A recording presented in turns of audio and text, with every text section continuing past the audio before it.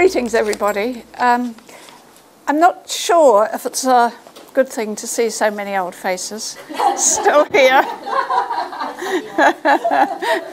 It'd be nice if uh, all the people who'd been to other meetings of WellMe who were sick were now better and therefore not here. But congratulations for keeping going and for still looking after each other in the way that you do. And um, Greetings to all the people who are not physically present in this room, who we know are affected by this terrible disease. And um, greetings to a better future that we all look forward to. So, I've called my talk The Blind Spot. Dr. Rosie Daniels said, carers are in the blind spot. And I want to talk about the crisis of care and its personal dimensions, especially the care of those most affected by this illness. We need to talk about it because this illness takes a toll on everybody. We need to acknowledge the way that it cuts off and isolates us. And I think the issue of care, its provision, its impacts need to be part of that discussion. But it's very difficult to talk about this blind spot because the suffering of the carer is not comparable to the suffering of the patient and should not invalidate it. Sometimes it can seem to, by focusing on the issues for the carer, seem to invalidate what's the, the, the cared for's suffering. The experience, many uh, Carers experience survivor guilt while at the same time experiencing acute grief and loss on behalf of their patient. Survivor guilt can also obscure the anguish of the carer, even from themselves. So the problem is how to maintain the dignity of the patient faced with extreme dependency and issues of profound loss. The carer must be focused on respecting and promoting the mana of their patients. And in talking about their own experience, they raise issues of consent and the privacy issue of their patients who may not identify with the label and who may wish to avoid the invalidation and being stuck with a sick identity. They may want to move on, and it may be very difficult. They don't want to be known forever to be tarred with the ME brush. So the patient almost may also not necessarily accept the same approach to the disease, to the illness, and will have definitely different points of view. And the patient may also have some quite significant guilt about the imposition of their care needs on their carer. So carers tend to swallow their concerns because speaking out publicly may impose an identity on the cared for as well as the carer which they do not choose. So I'm going to talk generically. I've cared for three severely ill ME people in different circumstances and places, and it's had a major impact on my life. And talking about it is quite difficult because you go back to the most difficult experiences and their consequences and the consequences they have in an atmosphere which invalidates these as real or as at least justified. So it's quite painful to um, uh, remind myself of the terror, the fear, the anxiety, the anguish of trying to care for the severely affected person. And I think that never leaves you, that anxiety, even if the person experiences a good recovery. By the way, I think it's ME more common, and I actually think recovery is more common than is often recognized. Anyway, um, those who do recover often want to get away from the illness as far and fast as they can um, and that makes providing support quite difficult because, of course, they want to deny that this happened to them. They want to move on. And that's also um, a, a real problem for our organisations and our support. In addition, the relapsing and remitting nature of the illness and the fear of relapse can create in everybody associated with it a state of hypervigilance. The unknown triggers perpetuate anxiety, and any hint of relapse may reignite traumatic memory in both patient and carer. And I think the stress response is very relevant actually to this illness. I believe that most people um, associated with it have a degree of post traumatic stress disorder. And why wouldn't we, for heaven's sake? You know. Um, so, one of the major tasks of the carer is how to promote a healing environment, but it may be very difficult in the face of this anxiety response. But let me say that caring for the profoundly ill can also be an awe inspiring experience, promoting profound respect for wairua wairua. Our wairua. to experience directly the essential spirit of the person is a profound gift. And experiencing the power of aroha within yourself is to share in the reality of Aroha Nui. So let's look at the demands of the caring role. Sometimes it's said that caring for a profoundly um, a person profoundly disabled by illness is like caring for a baby. Caring for the seriously ill involves dependency, it's true. The carer must negotiate and mediate the outside world, must provide a quiet space, reduce sensory stimulus, warmth, comfort, food. But the physical demands of feeding, cleaning, moving, changing may be similar, but the emotional reality is profoundly different. A baby is a source of hope, growth, development, and anticipated future, not grief, loss, and fear. Dependency is a key issue in the caring relationship. How is the carer to promote a sense of agency and dignity for someone unable to undertake the most basic processes of self care? The dependency is not just physical, however, it's emotional too. Caring for a baby demands a capacity in the carer to merge, to identify, to mirror the child. But caring for the adult requires the maintenance of boundaries, of recognition of difference, if it is not to infantilize both parties.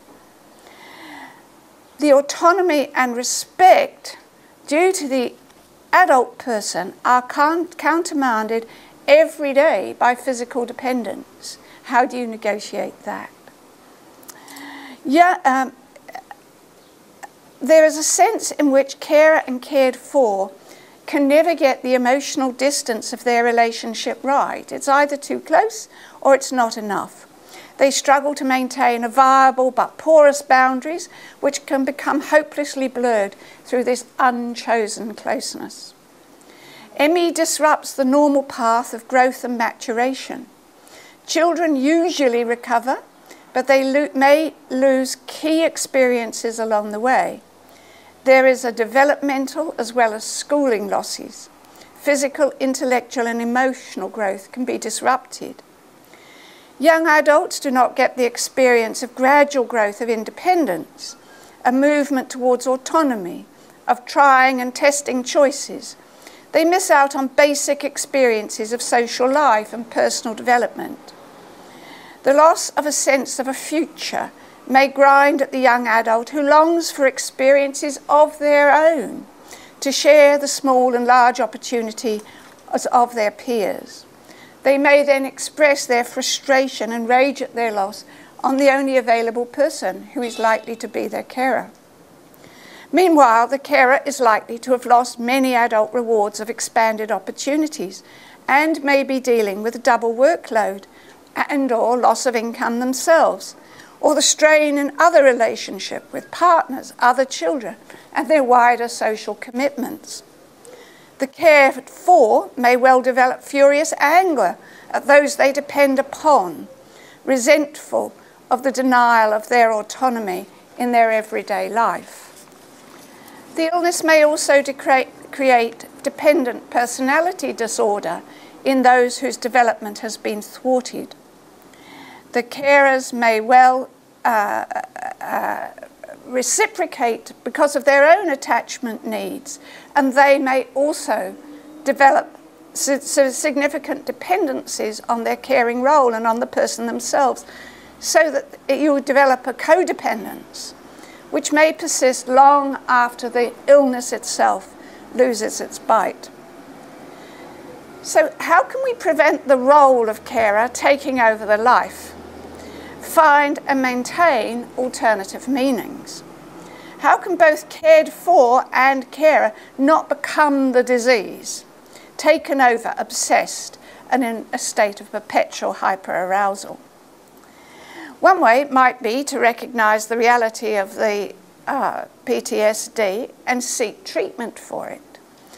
But it's not only hard, but, uh, but uh, traumatic stress disorder is hard to treat. And those who might offer us assistance all too often deny the reality of the illness. The counsellors, therapists, and doctors may share a common belief in the non validity of the cause of the distress. So, if you're seeking such support, I would urge everybody to be very careful and very selective about how they seek it from, who they seek it from. You know, if it doesn't feel right to you, if this doesn't feel like respect for where you're coming from, don't do it.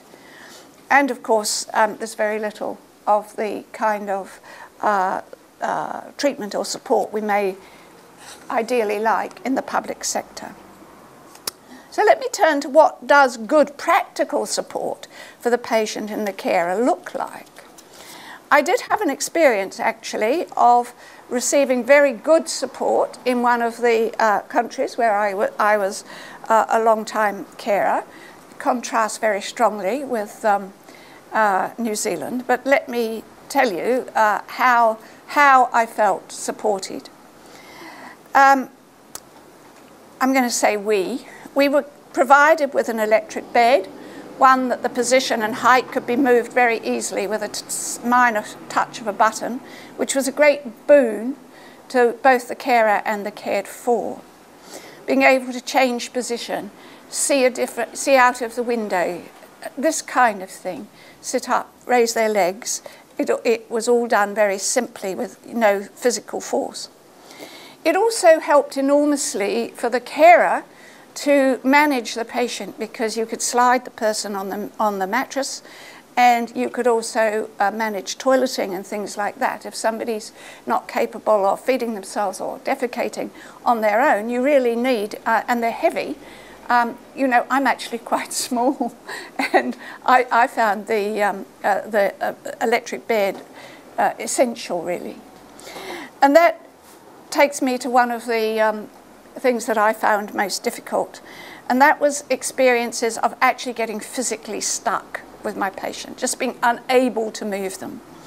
And um, I remember vividly um, an occasion on which uh, one of my patients had crawl, tried to crawl to the toilet and got stuck in the hallway, couldn't get any further, and I could not move them.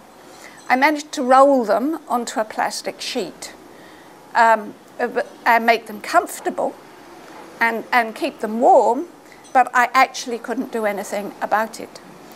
Eventually, I was um, offered a place with five others who were uh, five other carers who were considered to be caring for some of the most difficult situations in that um, area to a manual handling course.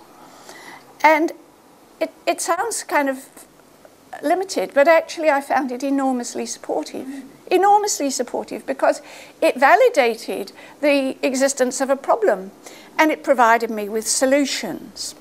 And it, I felt less alone, better equipped, and more legitimate in calling for the help I might need.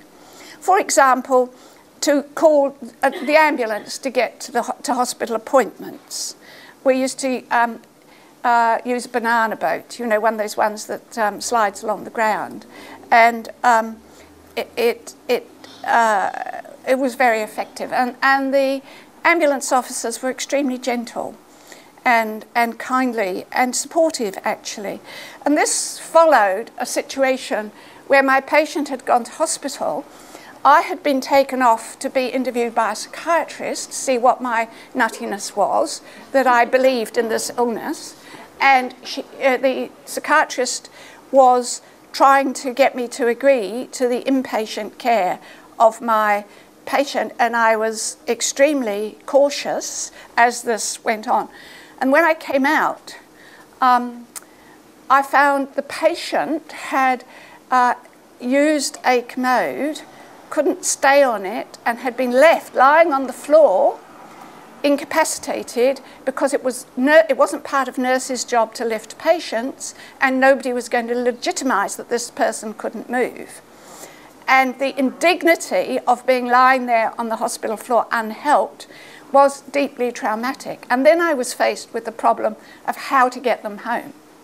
And so I found, for example, the inclusion of manual handling extremely helpful. They also helped with things like what to do if the person is attempting to stand and can't support themselves, they'll fall on you.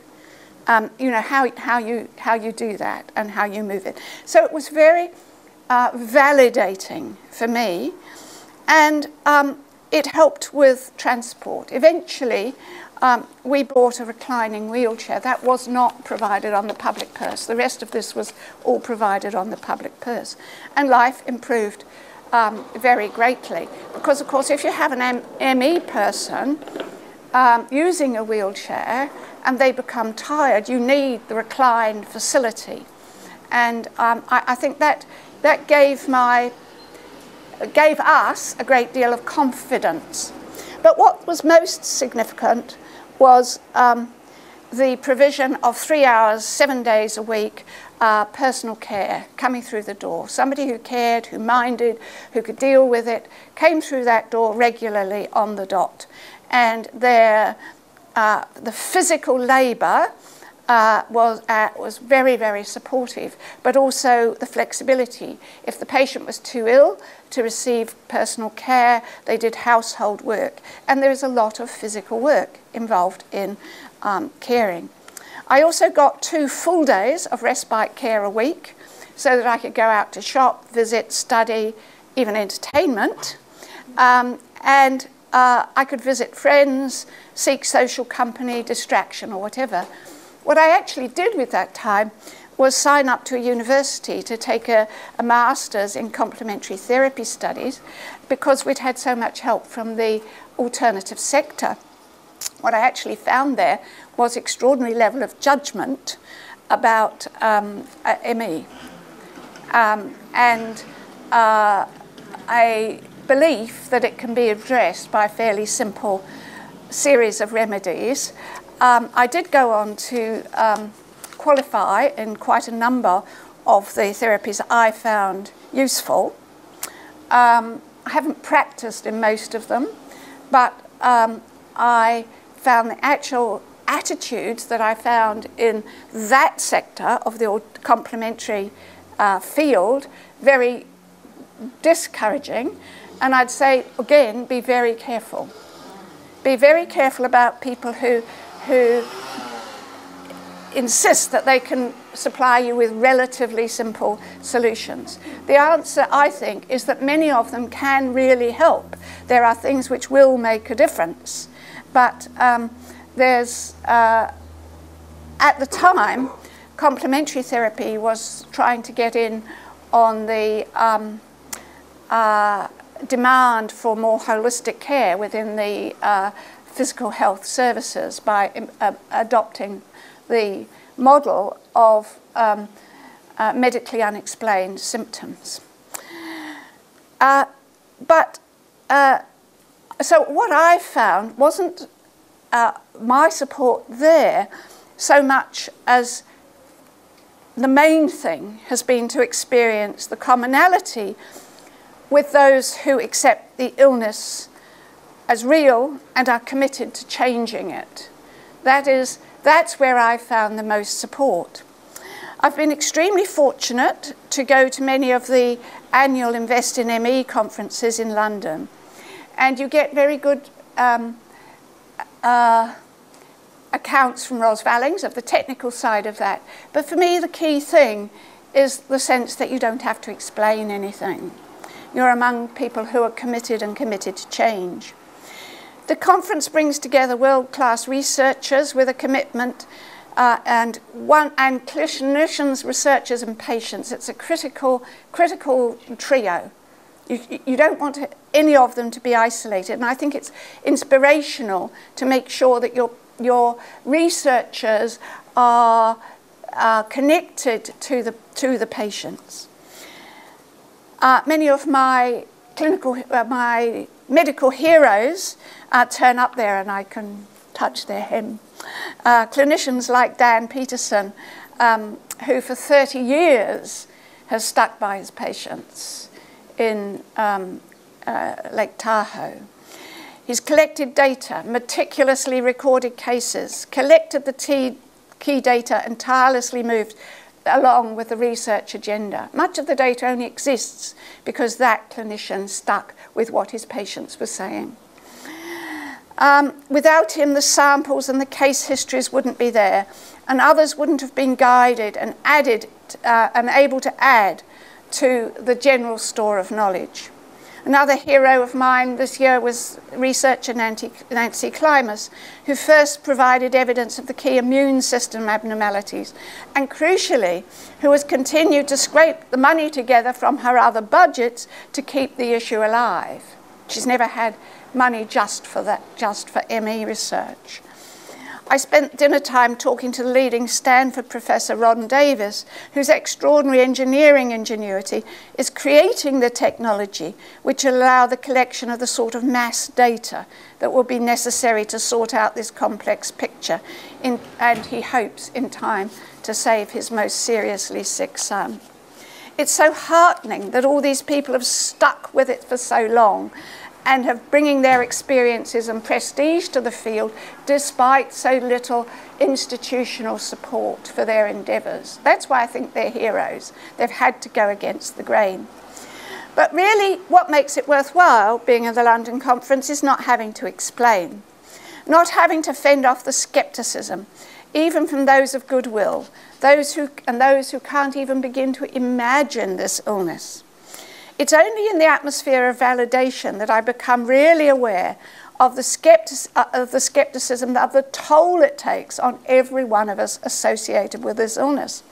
The difficulty of explaining or describing it, the lack of understanding, even from the well meaning, from family members, from friends. And I think that, you know, all of us are bound up in that. It, the sick and their carers are all affected by the lack of credibility, and too often it applies to the clinicians and researchers who have tried to help them too. All of the people I have mentioned have been subject to a degree of, of, of um, uh, skepticism. But the battle for understanding has, I think, moved forward. Last, uh, last this year, 2017, the after dinner speaker was David Tuller, an academic science uh, writer, science journalist, who's published exposures of the bad science of the PACE trial in the New York Times and elsewhere has been of very great significance. Tuller's first article for the New York Times did not go as far as did some newspaper headlines saying that ME could be cured with short treatments of CBT and, and uh, graded exercise. Thank you, Daily Mail. But it did report that up to 60% of findings of PACE participants uh, uh, experienced improvement or cure following CBT or graded exercise, up to 60%. But Tuller noticed, even as he was writing the article, that this did not describe the experience of a, of a sick friend he began to ask questions and soon found that there were a number of patients who had already identified some very serious flaws in the science of the PACE trial uh, and set up um, in, in both the setup and the analysis. Their inquiries, just like at National Women's 30 years ago, uh, were earlier met by furious resistance from the researchers responsible and the university involved. it was through pure persistence in access, the patient's pure persistence in accessing the original study data that the trials had been, that it was possible to show that the trials had been manipulated by such completely unacceptable devices as altering the inclusion criteria and the recovery measures during the course of the trial. So that, for example, 13% had been sick en- patients had been sick enough to meet the inclusion criteria, but we had, without change in their measurement of their conditions, been found to be improved or cured. So the PACE trial is said to provide objective evidence about the effectiveness of short, cheap treatments. But in fact, the key measures depended solely on the subjective accounts of patients themselves. The subjects, and they were in an unblinded trial, had received communications from the researchers influencing their expectations of likely success. It's a basic violation of prior trial procedure. These flaws should clearly have invalidated the study and prevented its publication. But they led instead to furious resistance to criticism from the medical establishment. The establishment that is supposed to be most committed to evidence based medicine. And of course, the PACE trial has led to huge implications for policy and practice in Britain and around the world. It's become a key document because it was so large. Well, I'm very familiar with bad science, but as I say, it was 30 years ago. I was part of the exposure of the shockingly bad science of the cervical cancer at National Women's Hospital that claimed that carcinoma in situ of the cervix was not a premalignant tumour. Not a premalignant tumour. Like the PACE trial, it took judicial action to force the disclosure of the evidence that would allow proper scrutiny. Proper scientific scrutiny overthrew the results. But the results of this analysis uh, continues to be furiously resent, resisted by some within the medical and hospital and university environment, even some from the very heart of evidence based medicine. Iain Chalmers, for example, head of the Cochrane, um, leader of the Cochrane uh, um, collaboration internationally, has been a major source of resistance to accepting the reality of the unfortunate experiment and its outcomes. He has um, had enormous influence uh, in preventing the um, publication or the retraction of the, you know, and so forth, proper discussion and acknowledgement of what was wrong. Our analysis eh, 30 years ago argued that this bad science occurred and continued as a result of the exclusive, closed, hierarchical power structure of the hospital and university, which put these researchers beyond scrutiny and we devised solutions which would facilitate appropriate safeguards against poor science. But 30 years of bitter resistance to these findings had followed. And the same with PACE. It took concerted effort through court action to get the research data released so that it could be scientifically assessed. And as I've said, there's been enormous resistance to accepting the findings of that assessment, let alone getting a retraction or an apology. Because evidence based medicine is supposed to prevent such capture, be objective, produce certainty, but it's been, of course, consistently distorted, especially trials, by corporate interests. There are many parallels, actually, between the unfortunate experiment and PACE. For example, the Lancet editor has refused to publish questions, let alone refutations, of the PACE trial, just like Chalmers with the um, cervical cancer inquiry. But um, there have been suggestion, there's been discussion about why PACE was so, uh, uh, why this bad science was promoted and why it occurred. There's been a suggestion that it was a form of corporate um, interest, for, um, uh, not from the drug company, but from insurance.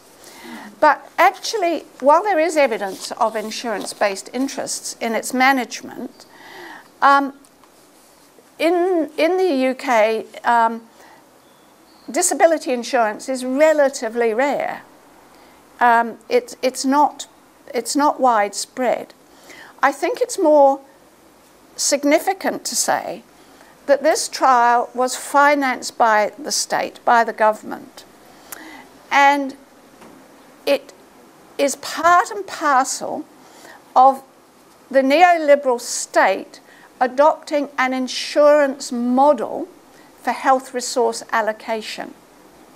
So, what's happened since 1988, which is Cartwright, is that the neoliberal state has remodeled healthcare internationally. It's adopted corporate organization um, of our health institutions. For example, our um, publicly owned, you know, um, health institutions like hospitals have to return, uh, they have to pay um, a levy to the state, which is interest on their capital assets. That's to produce a level playing field between our hospitals, our publicly owned hospitals, and the private ones. That's how it works. We pay millions of dollars back to the government. Government gives the hospital, the um, DHBs money, they pay it back, and so on. And so it goes on. And so while there's dozens of examples of corporate distortion of uh, evidence-based medicine, I think in the, and and it is reinforced by the new market model of the neoliberal university, which is controlled by management and closely performance managed. It creates insecurity, the casualization of intellectual labor as academics and researchers become contract workers. I think you can't underestimate the distorting effect of um, intellectual labour becoming, academics becoming part of the new Insecuriat. Always one eye on the next grant, willing to organise their findings, organise their research agenda, having to organise their research agenda to fit the, the political goals of the neoliberal state. So ME was left out of corporate interests because it, it wasn't about corporate interests because there wasn't any pharmacological intervention. Um, but it's been heavily influenced by the state's adapt, uh, uh, adaption, adoption of the insurance model for resource allocation. And so um, the um, uh, people with long-term illnesses, um, uh, long-term disabling illnesses, are subject to extraordinary insurance like assessments for their eligibility, work tests, and so forth, highly punitive. And then, of course, the problem is that the sub insurance models that subjects them to work tests. ME people who can't get to work, uh, to be test, uh, to get to work tests, are forced off benefits. If they're too unwell but unable to prove it, they lose the meagre benefits and they're identified as recalcitrant and malingering because they can't get there. I'll give you one example from my experience of caring for somebody in New Zealand. This person was homebound, um, partially bedbound, but mostly homebound, and they applied for a sickness benefit. This is some time ago. They couldn't get a sickness benefit, although they needed 24 hour support, because they couldn't get to WINZ for an interview. And no amount of intervention actually could change this. They couldn't prove they were sick because they couldn't get to WINZ. In the end, the solution was to borrow a pickup truck, carry the person out on a mattress, put the mattress in the pickup truck, drive the person covered up to the WINZ office, go in and say, this person has come for their sickness interview. Where are they? Well, they're actually sick. You'll find them outside, parked outside. And the WINZ officer went out and said, Oh, they're sick. um, you know, uh, the same sort of thing about not being able to get to work. I mean, you know, these are, these are real, and it's about adopting this in insurance. Are you eligible? Can you meet the criteria? How are you going to be measured in an illness where there's no defined measures? And so we, we find ourselves, um, and I think the issue is that in a system based on competitive individualism, who is to care for those who cannot provide for uh, care for themselves? Whose responsibility is it? And I think um, what that's what has generated what I call the care crisis. And of course, care has been squeezed out even of our hospitals because what they're interested in counting, what the managers count, are procedures. And care isn't really a procedure. And so it, it becomes invisible. And guess who it's, it's referred back to? Largely uh, women in the community. And so um, it becomes, you know, invisible, invisible work, implicitly largely women's work. In, care has been even erased from some um, aspects of procedure, such as people being discharged shortly after surgery uh, with no care. You know, what are they supposed to do? Well, it's not our business. You've had your procedure, you know, and so on and so forth. Um, uh, you know, and this sort of skepticism really, I think, um, has had an enormous effect. What I want to suggest, however, is that the, um, uh, the PACE trial uh, was largely tailor made to fit the health system restructuring. It was a trial actually set up to um, make it was at the time that it was set up, uh, there was a very common understanding, widely distributed around the NHS in discussions, that in fact 50% of the patients in doctors in GP surgeries did not fit established diagnostic criteria. They were they had MUS, you, be very careful of this slippery definition. MUS is medically unexplained symptoms. They were 50%. And the idea was that if you could um, somehow devise ways of managing these people more effectively, you, they cost the state six billion pounds a year and they represented all the people that the doctors were most irritated by, the ones who refused to get better and took more than 10 minutes, you know. And so actually solving this problem of how to, and it was sold to patients, of course, huge improvement in their care. They were going to get holistic care. So actually the NHS was, was um, sold that there would be huge savings, savings of such a great scale that it would save the viability of the health service if this problem could be solved.